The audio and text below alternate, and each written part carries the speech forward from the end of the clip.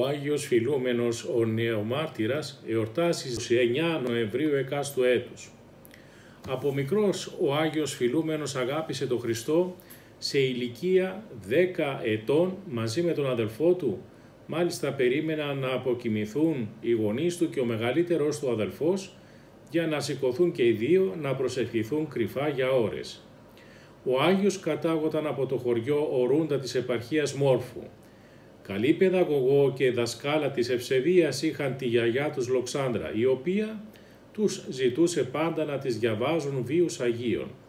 Διαβάζοντας ο Άγιος του Θεού φιλούμενος το βίο του Αγίου Ιωάννου του Καυσοκαλυβίτου, ως άλλος μιμητής εκείνου έκαυσε τις επιθυμίες του κόσμου τούτου.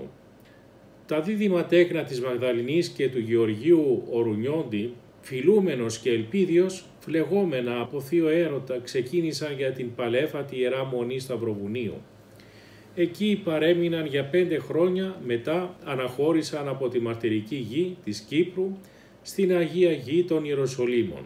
Ο πατήρ Ελπίδιος μετά από 12 έτη διακονίας στα Ιεροσόλυμα συνέχισε τον εκκλησιαστικό του βίο σε διάφορα μέρη της Ορθοδοξίας και εκοιμήθηκε στο Άγιον Όρος.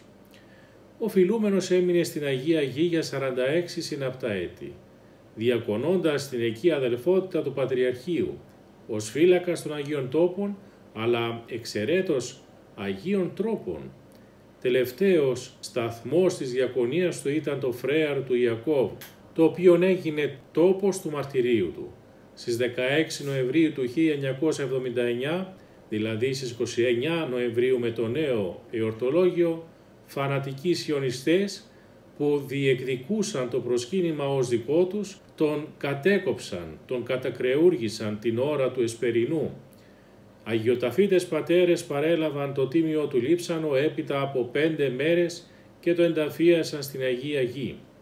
Τέσσερα χρόνια αργότερα, κατά την κηδεία θανούντος μέλους της Αγιοταφικής αδελφότητος, ανοίχθηκε ο τάφος του πατρός Φιλουμένου, για να γίνει η ανακομιδή των λειψάνων του. Όλοι τότε οι παρευρισκόμενοι αντίκρισαν ένα εξαίρετο και θαυμαστό θέαμα. Το σώμα του νεκρού αρχιμανδρίτη ήταν ανέπαφο και ευωδίαζε. Ξανακλείσανε τον τάφο μέχρι τα Χριστούγεννα του 1984, οπότε κατά την κηδεία του Αρχιεπισκόπου Πέλης Κλαβδίου ανοίχθηκε και πάλι. Το σώμα συνέχισε να είναι αναλύωτο και να ευωδιάζει, το λείψανο τοποθετήθηκε με κάθε ευλάβεια σε γυάλινη λειψανοθήκη στο βόρειο τμήμα του Αγίου Βήματος, στον Ιερό Ναό της Αγίας Ιών, όπου και γίνεται αντικείμενο προσκύνησης από χιλιάδες πιστούς. Ας έχουμε τις πρεσβείες του Αγίου Πατρός ημών Φιλουμένου. Αμήν.